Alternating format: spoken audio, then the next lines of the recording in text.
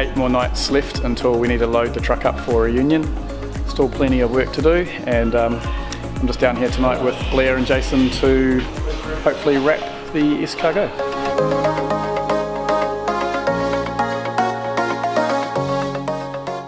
But before we can wrap the S-Cargo, Jason and Blair needed to finish off the wagon. So as you can see, we've got a new oil line on that now, um, which is a bit longer, so it's looped around uh, the engine mount and well away from it, so there shouldn't be any more rubbing or scratching going on.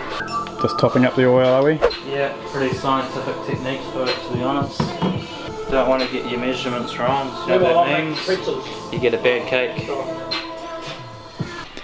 And the wrap for the snails arrived. Any guesses on the colour? Ta-da! Cheapest red there was. And since we're not painting it, uh, we don't need to worry about sanding off all the imperfections and shit. So it's just going to go over the top pretty much. But uh, a good idea to give it a clean first. What you're using there to clean it, is that a silicone remover?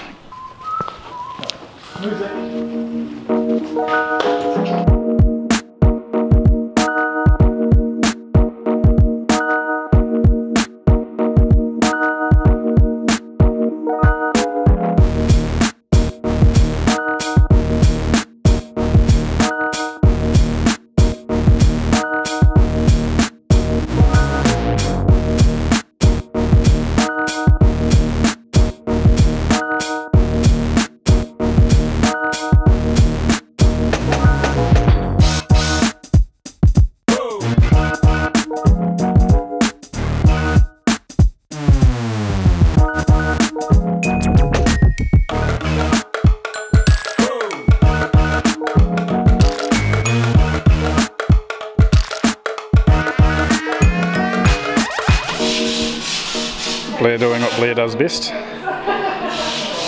Cleaning up.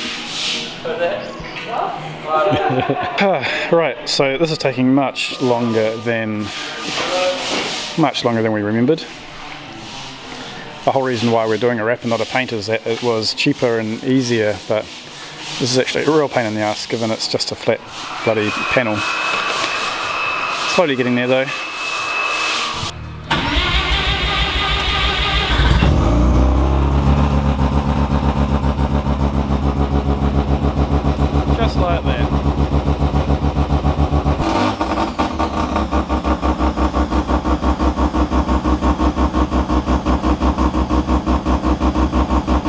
Pretty solid progress off camera. The wrap is as you see it now. But uh, Blair and I spent the last half hour trying to figure out his driving seat position. The, uh, the passenger actually goes back further uh, than the driver's seat could and uh, it's been a pain in the ass since we've had it of course because you've got the steering wheel right on your lap can't heel toe. It's just very uncomfortable. So took the seat out uh, flipped it upside down and played with the rail and managed to get it um, able to slide back further now. So it's actually really good. We've got one happy Blair it's now very late so we're going to finish up tonight and uh, we'll come back tomorrow bright and early. Alright day two Today is a public holiday in New Zealand, Waitangi Day. So uh, the guys have been at the garage most of the day already. Um, it's now late afternoon. Uh, see what they've been up to. Looks like Jason's finished off the door and little niggly bits around the door, like the frame. Painting those uh, over fenders black just to break up the red a bit. So that's looking pretty cool. FC's uh, remaining panels have been painted, so the uh, fender's sitting there. So they just need to be cut and polished to get the uh, shit out of them. And Andrew had some success in locating a clutch fork, so as you can see that's been reinstalled, ready to go. So the rest of the engine can get dropped in there at some point, hopefully very soon, maybe even today. Hello. Having a break, are we? Hey. What do you call this? Food's on the barbie. Some drinks. Lunch break. Alright. Was that, is that white wine you got there, Jet? Maybe. So Maybe. I just chucked the evidence. It's not good. I was like, I Look at that. I should actually Have a coke with James. No. Looking very rugged. You've been out in the on the sea today by the looks of it. Yeah, been out wakeboarding, man.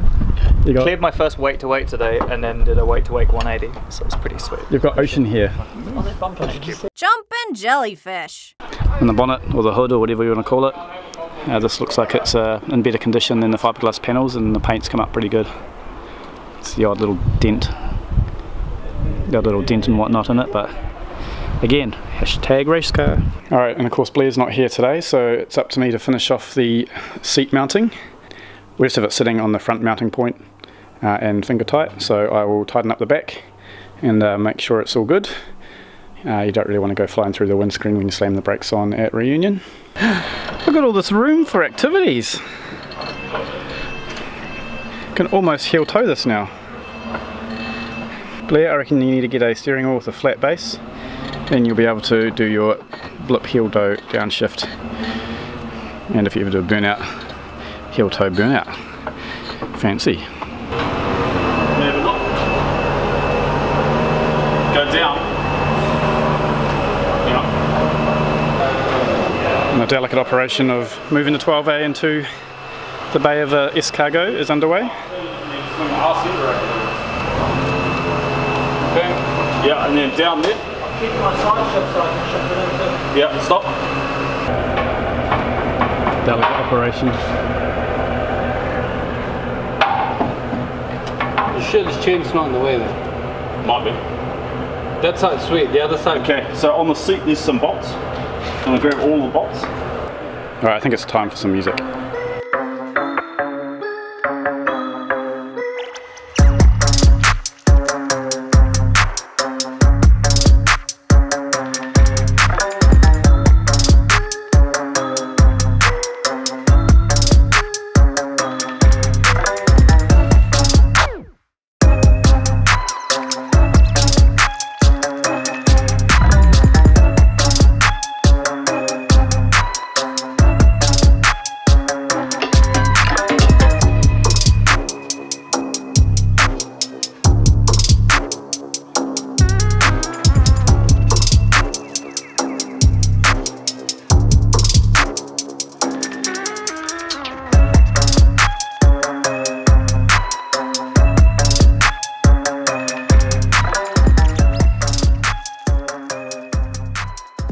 Right, and the snail was 12A powered once again. A Bit fiddly getting it back in there, but Andrew and Jason did a good job. After last night's effort, I'm fading fast. But uh, progress is being made. Andrew's knocked up the plumbing, working on the lights by the looks of it. I've uh, put the old road wheels back on the FC, and put that back on the ground and uh, James is back from buying sanding supplies to finish off his his hatch job. How's that? Is that easier? So much easier. That heat gun wasn't working for me. Friend of uh, Shane and Jason just arrived in this big shaggin' wagon. Check it out. Pretty bloody cool. Far out. That's epic. And the back seats fold down to the bed and then the two middle seats swivel around so you can either watch or have a longer bed. That's so cool. Look at that. So what they what they do is they ship the van across from GM's empty Yeah. and with a normal roof and then this one's Oh, right. Starcraft so that's the conversion company Yeah. and they come in and put everything in, inside it, chop the roof, put the fiberglass one on the top. It's got all your like liquor and stuff. Look. Cabinet. It'd be cool just to cruise to like Taupo and then sleep there overnight. Yeah, that's the that's the plan.